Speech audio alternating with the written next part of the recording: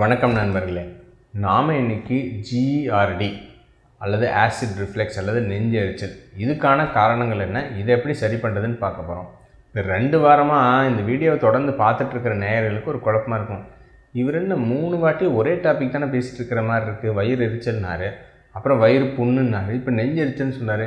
எல்லாமே ஒன்று தானே அப்படின்னு மக்கள் கன்ஃபியூஸ் ஆவாங்க. ஆனால் எல்லாம் வேறு வேறுங்க. டிஸ்பெப்சியாங்கிறது வேறு. அதே மாதிரி அல்சர் கேஸ்ட்ரைட்டிஸுங்கிறது வேறு. இப்போ நாம் பேச போகிறது ஜிஇஆர்டி அப்படின்னா என்னங்க? ஜிஇஆர்டி அப்படின்னா கேஸ்ட்ரோ ஈசோஃபேஜியல் ரிஃப்ளெக்ஸ் டிசீஸ் நான் முன்னாடி சொன்ன அல்சர் கேஸ்ட்ரைட்டிஸ் டிஸ்பெப்சியா இதெல்லாம் வயிறு பகுதியிலேருந்து அதாவது ஸ்டொமக் இறைப்பை இதிலிருந்து வரக்கூடிய அறிகுறிகள். ஆனால் ஜிஆர்டி அப்படிங்கிறது நம்ம வயிற்று பகுதிக்குள்ளே இருக்கக்கூடிய அமிலத்தன்மை நம்ம உணவு குழாய் ஈசோஃபேஜஸ் அப்படின்னு சொல்லுவோம்.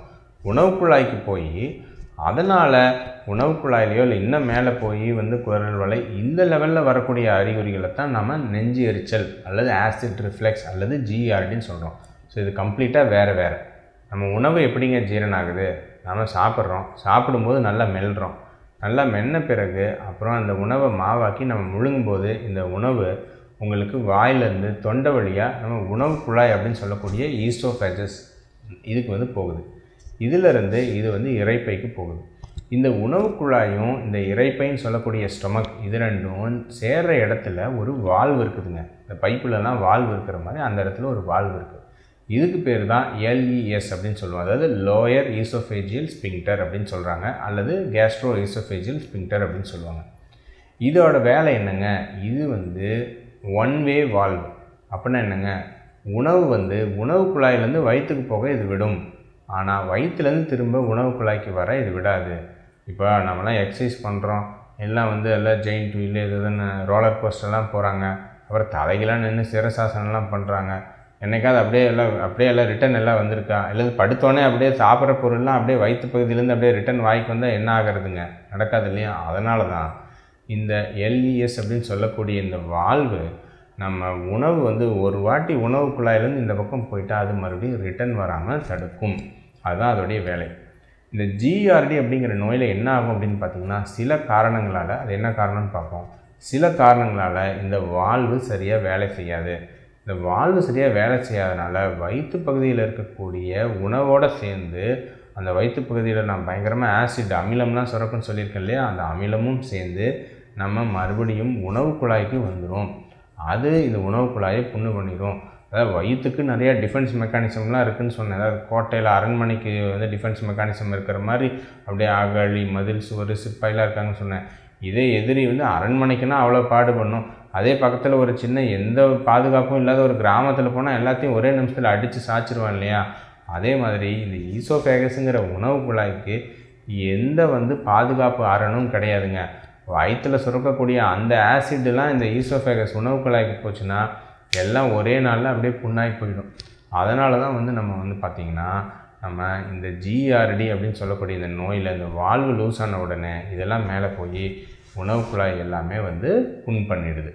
என்னென்ன அறிகுறிங்க இருக்கும் ரொம்ப காமனான அறிகுறி நெஞ்செரிச்சலுங்களா அப்படியே எரியற மாதிரி இருக்குது அப்படின்னு சொல்லுவாங்க நிறைய பேர்.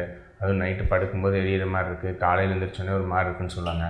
இப்போ நிறைய என்ன சொல்கிறாங்க அப்படின்னா இதை தாண்டி நெஞ்சு எரிச்சல் அப்படிங்கிறத தாண்டி வந்து பார்த்திங்கன்னா உங்களுக்கு இது இன்னும் அந்த ஆசிட் மேலே போச்சுன்னா தொண்டை பகுதி வரைக்கும் போகுது. ஸோ குரல் வலையை பாதித்து லெரிஞ்சைட்டிஸ் அது வர வைக்கலாம். அங்கே குரல் வலையில் புண்ணு வர வைக்கலாம். தொண்டையில் வந்து புண்ணு வர வைக்கலாம். நிறைய பேர்த்துக்கு தொண்டை புண்ணு ஆறவே ஆறாது. அப்புறம் பார்த்தா அந்த ஆசிட் ரிஃப்ளெக்ஸ் இருக்கும். அதை ட்ரீட் பண்ணால் அது வந்து சரியாக போயிடும். அப்புறம் அந்த ஆசிட் வந்து அப்படியே குரல் வலை வரைக்கும் போய் ஈவன் நுரையீரலுக்குள்ளே போய் பயங்கரமான தொடர் இருமல் நைட் டைம்லாம் நிறைய பேர்த்துக்கு இருமலாக இருக்கும். வீசிங்லாம் நினச்சிட்ருப்பாங்க. கடைசியாக பார்த்தா வந்து இதுதான் ஒரு காரணமாக இருக்கும். ஸோ பலவிதமான பிரச்சனைகளை இந்த ஆசிட் ரிஃப்ளெக்ஸ் அப்படின்னு சொல்லக்கூடிய இந்த ஜிஆர்டி உண்டு பண்ணலாங்க. இது எதனால் வருதுங்க? இப்போ நான் என்ன சொன்னேன்? இந்த எல்இஎஸ்ன்னு சொல்லக்கூடிய வால்வு வந்து இது லூஸ் ஆகிடுது அப்படின்னு சொன்னேன். ஸோ லூஸ் ஆகிடுதுன்னா எதனாலங்க இது லூஸ் ஆகுது? அதுக்கு ஆராய்ச்சியாளர்கள் சில காரணம் என்ன அப்படின்னு வந்து பார்த்துருக்காங்க. அதாவது புகைப்பிடிக்கும் பழக்கம் ஸ்மோக்கிங் ஒரு முக்கியமான காரணம். அப்புறம் மது அருந்தும் பழக்கம் ஆல்கஹால் அப்புறம் வந்து சாக்லேட் அதிகமாக சாப்பிட்றவங்களுக்கு இந்த வால்வு வந்து லூஸ் ஆகுமாமா? அப்புறம் வந்து பார்த்திங்கன்னா உங்களுக்கு கஃபீன் அதாவது காஃபி அதிகமாக குடிக்கிறவங்களுக்கு இந்த வால்வு சரியாக வேலை செய்யாது. கர்ப்பமாக இருக்கிறவங்களுக்கு இந்த வால்வு சரியாக வேலை செய்யாது. அதனால தான் கர்ப்பமாக இருக்கிற பெண்கள் வந்து பார்த்திங்கன்னா அடிக்கடி இந்த ஆசிட் ரிஃப்ளெக்ஸ் வந்துகிட்டே இருக்கும். ரொம்ப கஷ்டப்படுவாங்க. பெண்களை கேட்டிங்கன்னா தெரியும். அப்புறம் வந்து பார்த்திங்கன்னா சில வகையான மருந்துகள் சில முக்கியமாக காமனாக யூஸ் பண்ணக்கூடிய சில வகையான பிபி மருந்துகள் இதுவும் வந்து இந்த ரிஃப்ளெக்ஸை வந்து அதிகம் பண்ணும். ஸோ அந்த மாதிரி இத்தனை வகையான காரணங்கள் வந்து இருக்குதுங்க. அடுத்தது டிஎல்இஎஸ்ஆர் அப்படின்னு சொல்கிறாங்க அப்படின்னா என்ன அப்படின்னு வந்து பார்த்திங்கன்னா உங்களுக்கு transient lower oesophageal sphincter relaxation அதாவது அப்பப்போ சிலருக்கு வந்து இந்த வால்வு லூஸாகி லூஸாகி வந்து சரியாக போகுமா? அதாவது நிரந்தரம் லூஸாக இருக்கிறது வேறு டைப்பு சிலர் அப்பப்போ கிராக் ஆகுறாங்க இல்லையா? அந்த மாதிரி இந்த வால்வும் அப்பப்போ கொஞ்சம் வந்து லூஸ்தனமாக வேலை செய்ய மாட்டிருக்கு. அதுவும் வந்து பார்த்திங்கன்னா இந்த ஆசிட் வந்து வெளியே அலோவ் பண்ணுது. அதனாலையும் பிரச்சனை வரலாம் அப்படின்னு சொல்கிறாங்க அப்புறம் மூணாவது விஷயம் வந்து என்னென்னு பார்த்தீங்கன்னா ஹயாட்டஸ் ஹெர்னியா அப்படின்னு சொல்லுவோம். இந்த ஹயாட்டஸ் ஹெர்னியா அப்படின்னா என்ன அப்படின்னு வந்து பார்த்திங்கன்னா இதுக்கு மிக முதல் முக்கிய காரணம் வந்து பார்த்திங்கன்னா நம்ம ஊரில் உடல் பருமன். ஸோ இப்போ நம்ம ஊரில் இந்த ஜிஆர்டிக்கு பல காரணங்கள் சொல்லப்பட்டாலும் உணவு பழக்க வழக்கத்தெல்லாம் தாண்டி மிக முக்கிய காரணம் இந்த உடல் பருமனால் வரக்கூடிய ஹயாட்டஸ் ஹெர்னியா ஹயாட்டஸ் ஹெர்னியான்னு என்னங்க? நார்மலாக நம்ம உணவு குழாயும் நம்ம வயிற்று பகுதியும் ஜாயின் ஆகிற வாழ்வு இருக்குன்னு சொன்னோம். இந்த வாழ்வை சுற்றி நம்ம டயஃப்ரம் அப்படின்னு சொல்லக்கூடிய அந்த மசில் வந்து இந்த உணவு வந்து மேலே போகாமல் வந்து பார்த்துட்ருக்கோம் இந்த ஹயாட்டஸ் ஹெர்னியாவில் உடல் பருமனால் எல்லாம் வயிறு தொப்பக்குப்பெல்லாம் போட்டு என்ன ஆகுது அப்படின்னு வந்து பார்த்திங்கன்னா இந்த வயிற்று பகுதியோட ஒரு பகுதியே அப்படியே இந்த டயஃப்ரமில் இருக்கக்கூடிய ஓட்ட வழியாக அப்படியே வந்து மேல் பகுதி நெஞ்சுக்கூட்டு அந்த பகுதிக்கு போயிடும். அதனால் என்ன ஆகும்னு பார்த்திங்கன்னா இந்த வால் வந்து லூஸ் ஆகிட்டு ஈஸியாக வந்து உங்களுக்கு உணவுப் பொருள் வந்து மேலே மேலே போகும். அதனால தான் உடல் பருமனை மிக முக்கிய காரணம்.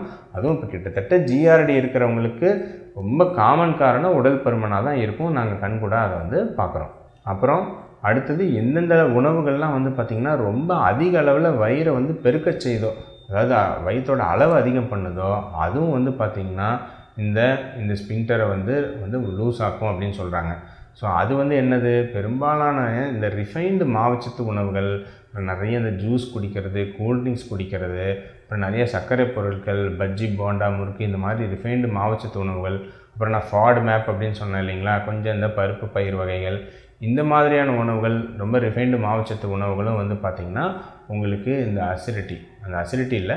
அதாவது இந்த வயிற்று பகுதியை வந்து கொஞ்சம் பெருக்க செஞ்சு அதனால் வந்து ரிஃப்ளெக்ஸை வந்து அதிகம் பண்ணுது. சரி இதுக்கு என்ன சிகிச்சைங்க? அதாவது காலங்காலமாக இதுக்கு என்ன சிகிச்சை செய்யப்படுது அப்படின்னா அல்சருக்கு வந்து இந்த பிபிஐ அப்படின்னு சொல்லக்கூடிய இந்த பேண்டோப்ரசோல் இதெல்லாம் சூப்பரான மருந்து அப்படின்னு சொல்லியிருந்தேன். ஆனால் இந்த ஜிஆர்டிக்கும் பெரும்பாலான மருத்துவர்கள் இதை வச்சு தான் ட்ரீட் பண்ணுறாங்க ஆனால் ஜிஆர்டிக்கு இது ஒரு நல்ல ஆப்ஷன் கிடையாது. ஏன்னா பிரச்சனை வந்து நான் இத்தனை காரணம் சொன்னேன். எங்கேயாவது அதிக அமிலம் சுரக்கிறது தான் வந்து பார்த்திங்கன்னா ஜிஆர்டி அதிகம் பண்ணதுன்னு எங்கேயாவது ஒரு காரணம் சொன்னேன்னா இல்லை. ஏன்னா ஜிஆர்டி காரணம் பிரச்சனை வாழ்வில் இருக்குது நீங்கள் வாழ்வில் ஏன் ரிஃப்ளெக்ஸ் ஆகுதுங்கிறதுக்கான காரணங்களை உணவு முறை வாழ்வியல் முறை மாற்றங்கள் மூலமாக சரி பண்ணாமல் வெறும் ஆசிடை மட்டும் குறைக்கிறது நிரந்தர நோயாளியாக தான் வந்து பேஷண்ட் ஆக்கும் அதனால தான் வாழ்நாள் முழுக்க நீங்கள் வந்து பேண்டப்ரசோல் அந்த மாதிரியான பிபிஐ போட்டுட்ருக்கிறதுக்கு பதிலாக நீங்கள் வந்து என்ன பண்ணணும்? வாழ்வியல் முறை மாற்றங்களை பண்ணணும். என்ன பண்ணணும்? முதல் விஷயம் நான் என்ன சொன்னேன்? மிக முக்கிய காரணம் இந்த ஹயட்டஸ் எர்னியா ஒபிசிட்டி நாங்கள் கண் கூட பார்த்துருக்கோங்க. அதாவது எட்டு வருஷம் பத்து வருஷம் அந்த மாதிரிலாம் அந்த அசிடிட்டி மாத்திரை சாப்பிட்டுட்டு இந்த நெஞ்செரிச்சலுக்கு. சும்மா ஒரு பத்து கிலோ இருபது கிலோ வெயிட் லாஸ் பண்ணுவாங்க. காணாமல் சுத்தமாக காணாமல் போயிடும். மூணே மாதத்தில் மாத்திரையும் நிறுத்திடுவாங்க. அந்த அளவுக்கு அருமையாக வந்து வேலை செய்யும்.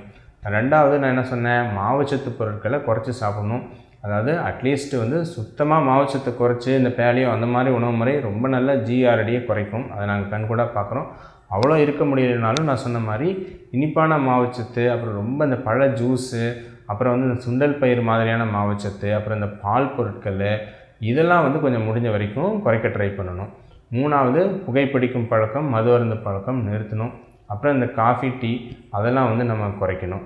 இது இல்லாமல் சாக்லேட் இதெல்லாம் கூட வந்து கொஞ்சம் நிறுத்தணும். இதெல்லாம் வந்து முக்கியமான லைஃப் ஸ்டைல் மாடிஃபிகேஷன்ஸ் நாம் பண்ணணும்.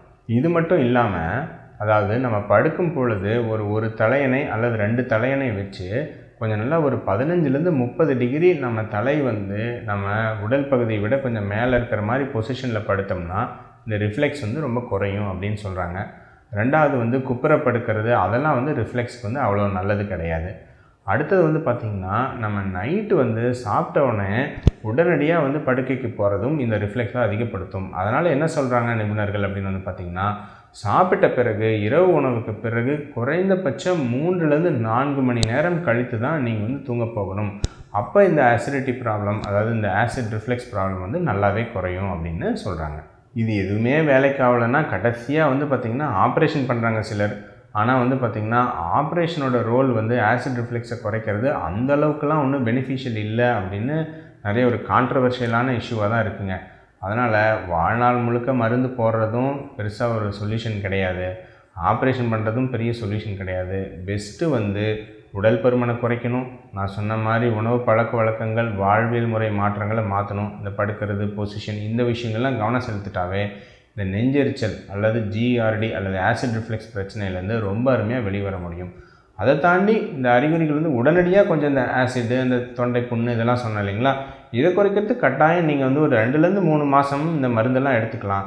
ஆனால் வருஷக்கணக்காக இந்த மருந்து எடுக்கிறத விட வாழ்வை முறை மாற்றங்கள் என்ன பண்ணணும் அப்படிங்கிறத பற்றி யோசிக்கிறது புத்திசாலித்தனமான முடிவாக இருக்கும். மேலும் நிறைய இந்த மாதிரி விஷயங்களை பற்றி தொடர்ந்து பேசுவோம்.